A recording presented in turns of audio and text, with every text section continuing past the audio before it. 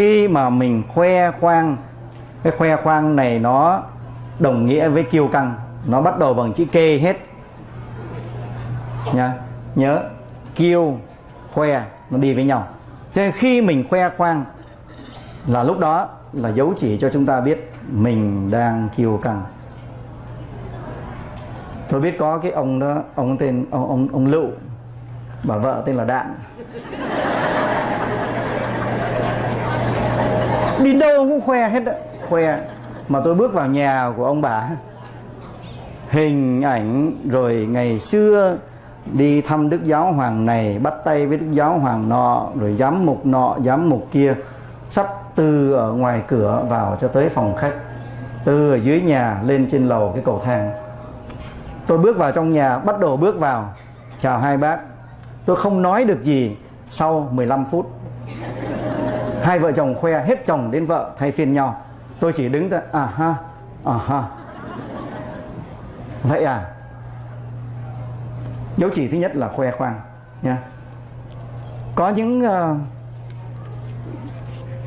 có những người họ tưởng là khi họ nói ra những cái điều đó là họ đang khiêm nhường nhưng mà không phải. Chẳng hạn như có một ông ông ông ông một ông cố ông ông cha, tức là con của ông vừa mới đi qua, được đức giám mục gửi qua bên Rome. Mới đi đường tuần, xong thì tuần sau ông đi lễ, ông nói, con tôi đi học làm giám mục.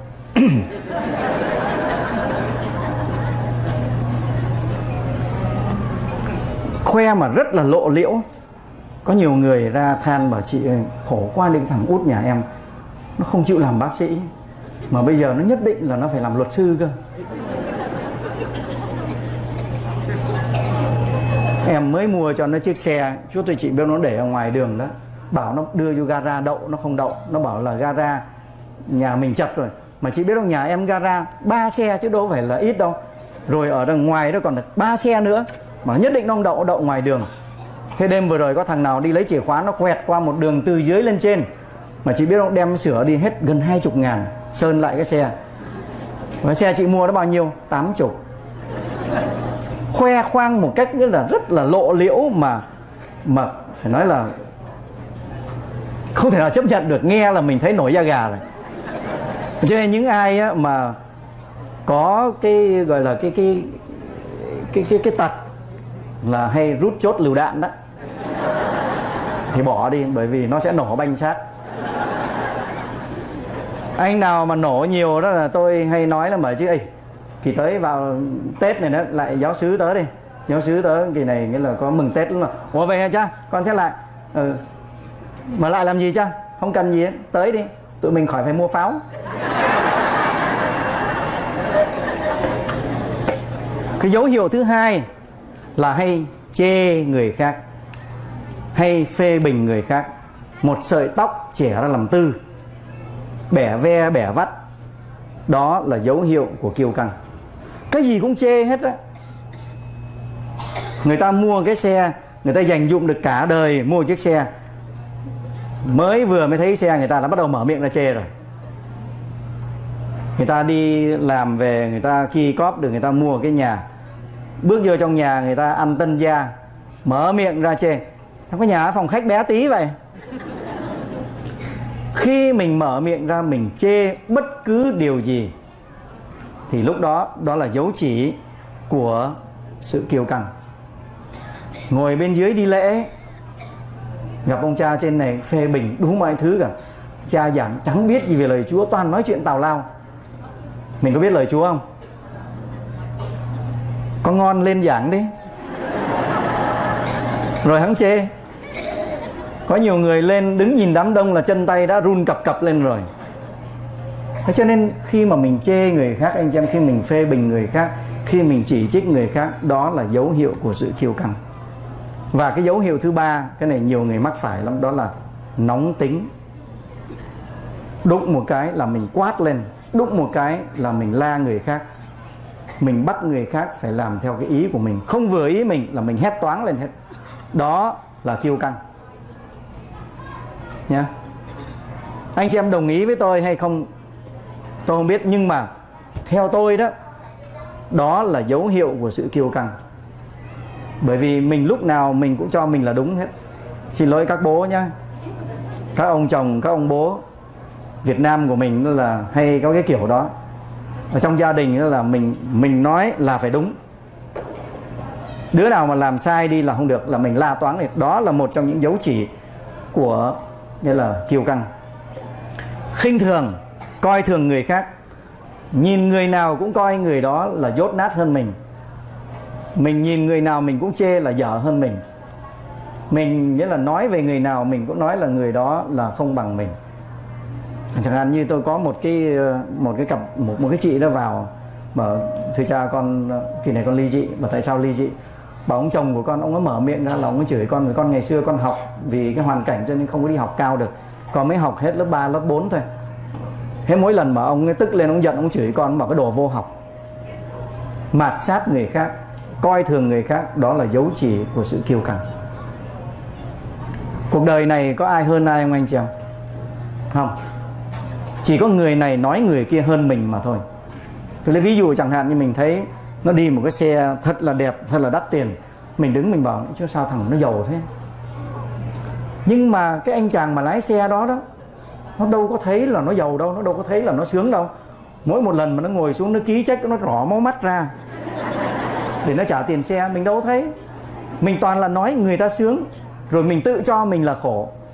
Trong khi mình ở mỹ này, là mình sướng hơn bao nhiêu người, anh chị em biết không? Bao nhiêu người? Triệu người hả? Tỷ người. Hàng tỷ người họ ao ước họ được đến đây để hít thở không khí tự do để được hưởng những phúc lợi như chúng ta có. Mà họ không được. Cho nên đừng bao giờ nói là mình khổ hoặc là mình đừng có bao giờ coi thường người khác nha đừng coi thường người khác. Mỗi người chúng ta được dựng nên theo hình ảnh của thiên chúa. Và giáo hội dạy chúng ta là phải biết tôn trọng nhân phẩm của người khác. Dù là một thai nhi hay là một cụ già nằm ở trên giường bệnh, không có làm được cái gì chúng ta vẫn phải tôn trọng họ, bởi vì họ được tạo dựng nên theo hình ảnh của thiên chúa. Chấm hết. Thế cho nên, thế cho nên thưa anh chị em, chúng ta chúng ta đừng bao giờ coi thường người khác, nhá. Đừng có khinh người khác bởi vì họ là da da màu. Bởi vì họ nói ngôn ngữ khác mình. Nói chuyện da màu với anh chàng da đen, anh nói với cái anh chàng da trắng anh là da trắng. Khi anh tức lên đó, mặt anh nó đỏ lên. Khi anh giận nó mặt anh nó xanh ra. Và khi mà anh chết đuối đó da anh nó xám ngắt. Còn tôi đây này giận lên vẫn đen. Tôi nóng giận hay tôi ra ngoài nắng bất cứ gì tôi cũng chỉ có đen. Vậy tại sao anh nói tôi da màu? Anh mới là da màu. Mình đừng bao giờ khinh người khác là bởi vì người đó là học kém hơn mình hay là có màu da khác mình? Mà người Việt của chúng ta hay phạm cái lỗi này lắm anh chị em biết tại sao tôi nói vậy không? Là bởi vì tôi đã nghe nhiều người nói, mấy thằng xì, mấy thằng mọi. Người mễ, họ nói tiếng spanish. Mình chỉ nói là mấy thằng xì, mấy con xì đó là những cái ngôn từ coi thường người khác. Đó, anh chị em cẩn thận. Đừng có đừng có nghĩ là mình nói như vậy là là là không sao đâu. Đó là cái dấu chỉ cho mình biết mình đang khinh thường người khác. Yeah. nói chuyện học hành của mình, nói ở Việt Nam mình là học giỏi hơn là người người mễ với lại người phi. Họ làm những công việc nặng nhọc còn mình làm văn phòng không à. đừng có nói như vậy. Đừng khinh thường người khác. Đừng coi thường họ. Cái dấu chỉ thứ năm là hám danh, hám lợi tức là thích được tầng bốc, thích được người khác, gọi là ờ, đặt mình lên cái chỗ quan trọng. Trong một bữa tiệc, ví dụ như là tiệc cưới của con cái, của cháu chắc mà mình mà không được xếp lên bàn đầu ngồi đó, thì mặt nặng mày nhẹ. Đó là dấu chỉ của sự kiêu căng đấy. Một miếng giữa làng thì bằng một sàng xó bếp cứ nghĩ là những cái nơi đó là những nơi phải là của mình. Cho nên mỗi một lần mà anh chị em biết ở giáo xứ mà có làm tiệc, làm gì đó là nhức đầu lắm. Là không biết phải làm sao mà xếp cái ông này đó, ông có chức vụ gì trong giáo xứ này, hồi xưa ông làm cái gì, là phải đọc lại lịch sử hết để rồi xếp cho nó đúng. Không đúng là có tội đấy, là vãi tội ra. Nó kẹt vậy đấy anh chị em. Khoe khoang rồi mình muốn tên tuổi của mình phải được gắn chỗ nọ gắn chỗ kia.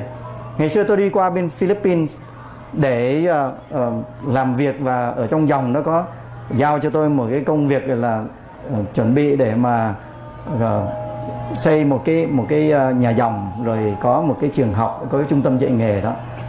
Thì khi tôi qua bên đó các cha với lại uh, một ông đức ông lại nói với tôi bây giờ cha có muốn uh, học cách ở bên này để mà làm fundraising không? Tôi cũng háo hức tôi bảo dạ vâng. Ờ, quý cha chỉ cho con. Ông chỉ ông bảo là bây giờ đó nói với người ta là bây giờ đó tất cả các ghế đó là đều có tên của họ hết. Trời ơi tôi đi vô một cái dòng nữ là dòng Agatha. Vô trong đó chỗ nào cũng có tên anh chị em. Cửa này là có cái tên cửa. Rồi ở trong ghế học sinh đó, chỗ nào cũng có những cái name tag là của người này người kia dân cúng hết. Ừ. có một chỗ duy nhất mà nơi đó không có cái bảng tên, anh chị em biết chỗ nào cái bàn cầu. Tôi bảo trời ơi cái chuyện mà nếu mà nói người ta để mà người ta gắn tên lên để quyên tiền thì nó dễ quá, đâu có gì đâu mà cần phải học đó cái đó là đánh vào cái lòng kiêu căng của họ, lòng nghĩa là ham danh lợi của họ, thì họ donate thôi. Chuyện đó là chuyện rất là đơn giản, không cần phải học. Nhưng đó là cái cách mà người ta đánh vào cái lòng hám danh lợi thưa anh chàng. Chúa bảo là làm việc thiện ở bên tay phải, bố thí tay phải thì đừng cho tay trái biết. Việc kín đáo của mình sẽ được cha của anh em ân thưởng. Nếu mình được người đời thưởng rồi, thì Chúa miễn. Hễ mà Chúa thưởng thì người đời không có nên thưởng mình. Nên khi làm việc bác ái, anh chị em nhớ dùng tôi chuyện đó. Ở trong đời sống của chúng ta, anh chị em thấy có ai thích người kiêu ngạo không anh chị em? Không có ai thích cả. Không có ai thích cái người lúc nào cũng mở miệng ra khoe khoang, lúc nào mở miệng ra cũng nổ, lúc nào mở miệng ra cũng là mình là nhất. Và cho nên khi chúng ta khoe khoang, khi chúng ta nóng giận, khi chúng ta hám danh, hám lợi, là lúc đó chúng ta đang tự cô lập chính mình, bởi vì mình sẽ không có bạn bè. Sách huấn ca chương 10 câu 7 nói, Đức Chúa và người phàm đều chê ghét tính kiêu căng đều coi gian tà là khả ố. Cả chúa và người phàm đều ghét những kẻ kiêu căng. Có mà anh chàng việt kiều đó anh về tới việt nam ngày xưa cũng là chân lấm tay bùn ở dưới miền uh, vùng 4 cần cần thơ bạc liêu. Qua bên này học lấy được một cái bằng ba về nhà vinh quy bái tổ. Đi qua một con đò nhận ra một thằng bạn ngày xưa học chung lớp với mình. Nó bảo ê mày nhớ tao không? Mày ngó lên nó bảo không sau đó mày học chung lớp này ôi về hả? Mày mời xuống đò lái xe ra. Vừa mới bắt đầu xuống đò cái, mày biết về toán học không? Mà không. Vậy mày mất nửa đời người rồi. Tại vì mày phải biết toán học bảo không? Tao không cần biết, tao chỉ biết khách xuống đây tao thối tiền lại cho họ. Thối tiền lại đủ công bằng, đủ rồi. Đi ra một chút nữa mà mày biết về địa lý không? Về thiên văn không? Mày phải biết để mà mày có thể đưa đò qua sông bảo không? Tao chỉ biết lúc nào lên, lúc nào xuống, nước, lúc lên, lúc xuống. Khi nào an toàn đưa qua sông thằng này lại nói cái bảo chứ, mày mất phần tư đời người đi ra dưới giữa sông, sóng gió nó nổi lên, thằng chèo đò nó hỏi cái thằng việt kiều, mày biết bơi không việt kiều nói, không mà thôi, mày tiêu cả cuộc đời rồi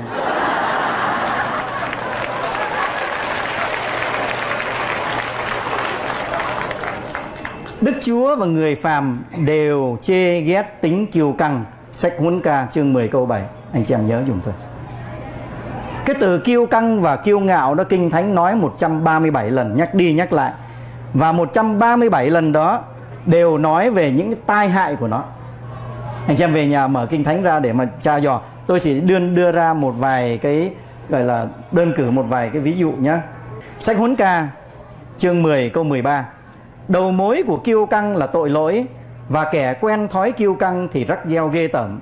Vì thế Đức Chúa đã gửi đến những gian truân và tiêu diệt chúng hoàn toàn. Thiên Chúa tiêu diệt những người kiêu căng. Sách châm ngôn chương 16 câu 23 Đứa kiêu căng làm Đức Chúa ghê tởm, Hẳn nó không thoát khỏi án phạt đâu Sách châm ngôn chương 18 câu 12 Lòng tự cao dẫn đến sự suy sụp, Đức khiêm tốn đem lại vinh quang Và Thánh Gia-cô-bê Tông Đồ chương 4 câu 6 có nói Thiên Chúa chống lại kẻ kiêu ngạo nhưng ban ơn cho kẻ khiêm nhường. Và phúc âm của Thánh Luca chương 1 câu 51 Chúa giơ tay biểu dương sức mạnh dẹp tan phường lòng trí kiêu căng. Đức Chúa chính là người trừng phạt những kẻ kiêu căng cho nên anh chị em và tôi muốn được vào thiên quốc mình phải sống khiêm nhường. Chấm hết. Không có on đơ gì hết, không có nhưng, không có bất mà phải sống khiêm nhường. Bởi vì tất cả mọi sự ở trong cuộc đời này rồi nó sẽ qua. Nay ông, mai thẳng. Nay mình được người ta khen, ngày mai người ta chê. Nay khỏe mai yếu nay giàu mai nghèo. Đó là cái lẽ thường tình trong đời sống này. Đừng bao giờ vênh váo với người khác vì mình được hơn họ về bằng cấp về sắc đẹp về chiều cao về tóc.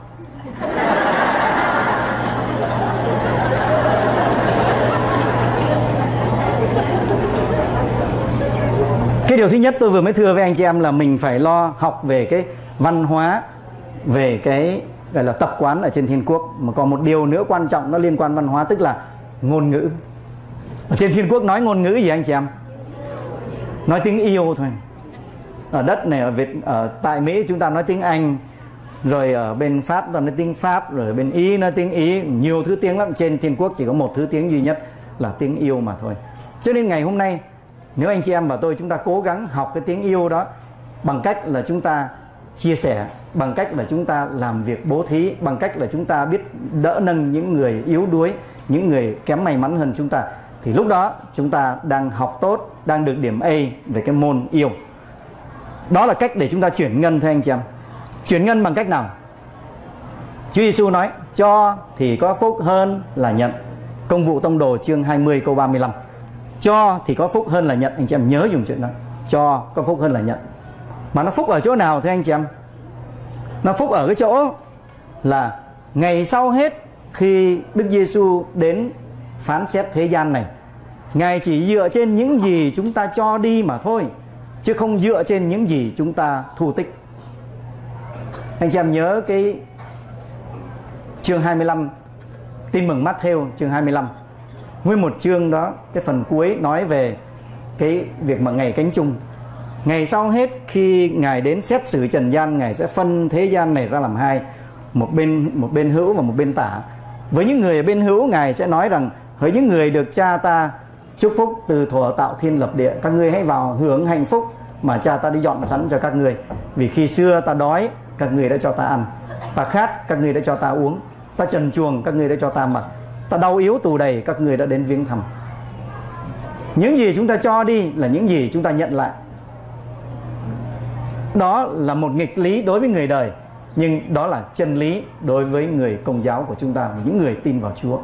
Những gì chúng ta cho đi là những gì của chúng ta, những gì chúng ta giữ lại là những gì chúng ta sẽ mất. Có những người sau những ngày tháng như là rất là vất vả làm ăn rồi, nghiệm ra một điều là bây giờ mình không nên làm nhiều như vậy nữa. Có cái anh đánh nói, làm nhiều quá, mai mốt mình chết đi. Vợ mình để cho người ta xài, con mình để cho dưỡng nó sai tất cả để lại cho người khác hết. Thánh vịnh 49 nói, kìa thiên hạ, thấy người khôn cũng chết, kẻ ngu đần dại dột cũng tiêu vong. Tài sản của họ để cho người khác, nơi họ ở là ba tấc đất mới thật là nhà cho nên tất cả những gì trên đời này mà chúng ta cho đi là chúng ta sẽ nhận lại được. Còn những gì chúng ta giữ lại là chúng ta sẽ mất. Sách Tobia chương 4 câu 7 đến câu 11 ông ấy khuyên con trai của ông ấy, con hãy dùng của cải bố thí, và khi bố thí, mắt con đừng có so đo. Như thế là con tích trữ một vốn liếng vững chắc cho những ngày gian nan thật vậy, việc bố thí cứu cho khỏi chết và không để rơi vào cõi âm ti, vì trước nhan đấng tối cao của bố thí là một lễ vật quý giá cho những ai làm việc bố thí bài phúc âm chúng ta vừa mới nghe lúc đầu giờ này, Chúa Giêsu cũng nói hãy dùng tiền của bất chính mà tạo lấy bạn bè, để khi hết tiền hết bạc, họ sẽ đón rước anh em vào nơi ở vĩnh cửu. Thánh Phaolô tông đồ trong thư gửi cho ông Timôthê ngài cũng nhắc nhấn mạnh vấn đề này. Đối với những người giàu có, anh hãy truyền cho họ đừng tự cao tự đại, cũng đừng đặt hy vọng vào của cải phù vân, nhưng đặt vào Thiên Chúa đấng cung cấp dồi dào mọi sự cho chúng ta hưởng dùng. Họ phải làm việc thiện và trở nên giàu có về các việc tốt lành phải ăn ở rộng rãi sẵn sàng chia sẻ như vậy là họ tích trữ cho mình một vốn liếng vững chắc cho tương lai để được sự sống thật dùng tiền của mà chúng ta có ở đời này để mà tậu mãi nước trời. Mình chuyển ngân bằng cách là mình giúp đỡ, mình bố thí, mình cho đi, mình chia sẻ. Đó là cách để chúng ta có thể vào nước trời để hưởng hạnh phúc. Anh chị em có tin không? Bây giờ có nhiều người nói, tôi đâu có gì để chia sẻ đâu. Trời ăn welfare tháng có mấy trăm vừa đủ. Đừng nghĩ là làm việc bác ái cho đi chỉ có tiền bạc. Tiền bạc chỉ là một phần trong những gì chúng ta có thể cho đi thôi. Chúng ta còn có tài năng, chúng ta có thời giờ, chúng ta có cái nụ cười. Hình như năm ngoái tôi chia sẻ với anh, cái cái nụ cười là một cái món quà mà Thiên Chúa trao tặng cho mình. Free. Các con nhận nhưng không thì hãy trao nhưng không. Tại sao mình không biết chia sẻ với người khác những nụ cười của mình, những cái lời nói động viên khuyến khích. Thay vì mình nói những cái lời chê trách rồi phiền hà người ta rồi chê bai người ta, tại sao mình không nói những cái lời động viên khuyến khích người ta? Đó đó là những cách để chúng ta có thể, gọi là, làm việc bác ái. Mình dùng tài năng của Chúa ban cho mình để phục vụ giáo hội, phục vụ giáo xứ khi anh chị em tham gia vào những cái hội đoàn ở trong giáo xứ là thiếu nhi thánh thể, đoàn liên minh thánh tâm, hội các bà mẹ, Legio Marie rồi ca đoàn, tất cả những cái ban ngành đoàn thể trong giáo xứ, trong cộng đoàn của anh chị em là cái nơi để mà chúng ta có thể dùng tài năng để chúng ta cho đi. Khi chúng ta dùng cái tài đánh đàn của mình để mà phục vụ cho giáo hội, phục vụ cho các thánh lễ, là lúc đó chúng ta đang cho đi. Mình dùng thời giờ để tập hát, để nấu ăn, để mà đi thăm viếng bệnh nhân. Lúc đó là chúng ta đang tậu mãi nước trời. Cho nên anh chị em cố gắng dùng tất cả những gì mà mình có để chia sẻ cho người khác. Còn tiền bạc của cải vật chất, nó chỉ là một trong những gì mà mình có mà thôi. Chứ không phải có tiền mới làm việc bác ái được. Cái đó đúng, nhưng mà chưa đủ. Thì nên chúng ta có thể làm việc bác ái bằng rất là nhiều cách khác đi nhé bây giờ, tôi muốn chia sẻ với anh chị em về một điều này nữa là khi mình cho đi đó, mình thường nghĩ là mình mất. Anh chị em nhớ như thế này. Nếu mà mình nghĩ về vật chất đó thì nó mất. Nhưng nếu mình nghĩ đó là tình yêu thì nó sẽ không mất. Tình yêu được ví như ngọn lửa. Nếu bây giờ tôi có ba trái táo, tôi cho anh bắc một một trái này, rồi tôi cho chị vân một trái, như vậy tôi còn mấy trái? Một trái, như vậy rõ ràng là tôi mất rồi đúng không? Nhưng mà nếu bây giờ tôi coi những cái gì tôi cho đi đó, nó giống như là một ngọn lửa. Giờ tôi có một ngọn lửa ở đây. Sau đó tôi truyền cho anh, cho chị, cho tất cả mọi người trong phòng này cái ngọn lửa của tôi đây nó có mất đi không? Không. Anh chị em cứ suy nghĩ như vậy, mỗi khi mình làm việc bác ái, làm việc bố thí, khi mình cho đi, mình không mất. Mình chỉ là người quản lý, mà chú đã nói rồi. Cái công việc của người quản lý là phải phân phát cho đúng giờ, đúng lúc. Khi chúng ta cho đi, chúa sẽ đổ lại cho chúng ta. Bởi vì ngài là đấng ban phát cho chúng ta. Chúng ta không phải là chủ cái gì cả. Đừng có ai nghĩ là bây giờ mình đang là chủ khi chết đi mình đem theo được cái gì thì cái đó là thuộc về mình. Mình chết đi mình đem theo được cái gì anh chị em? Có không? Có đem theo được hai thứ, một là phúc, hai là tội. Nếu mình làm việc bác ái, mình làm việc bố thí thì khi chết mình đem theo được những cái phúc. Còn mình sống keo kiệt, mình chỉ trích người này, mình khinh chê người khác, mình kiêu căng thì mình chết, mình mang theo những cái tội đó. Của cải vật chất không đem theo được nhá. Còn một một điều cuối cùng đó là mình phải khép vào kỷ luật, anh chị em. Khép mình vào kỷ luật. Giống như ngày xưa mình ở Việt Nam qua Mỹ, mình phải cố gắng làm sao đó để mà mình tránh không có bị dính dáng vào những cái vấn đề hình sự. Chúng ta cũng vậy, chúng ta cũng phải khép mình vào kỷ luật của giáo hội. Hãy qua cửa hẹp mà vào, vì cửa rộng dẫn chúng ta đến sự diệt vong khép mình vào kỷ luật tức là chúng ta tuân theo những giới răn của Thiên Chúa. Mười điều răn Đức Chúa Trời đưa ra, anh chị em suy nghĩ, anh chị em sẽ thấy nó không có lợi gì cho Chúa mà có lợi cho chính chúng ta. Cho nên mình tuân giữ những giới răn của Thiên Chúa và mình cố gắng hãm mình ép sát. Đừng có bắt trước những người đi vào cửa rộng. Người ta ra ngoài đường người ta lấy hai ba vợ kệ người ta mình chỉ có một chồng một vợ mà thôi người ta muốn ly dị gì thì kệ người ta mình phải khép mình vào kỷ luật để mà sống chung tín với nhau chịu khó nhẫn nhục với nhau kiên nhẫn với nhau. Chúng ta không có cái kiểu mà giống như người ngoài đem ra tòa ly dị rồi làm giống như những người không có đức tin. Cảm ơn anh chị em. À, đó là tất cả những gì tôi muốn chia sẻ với anh chị em.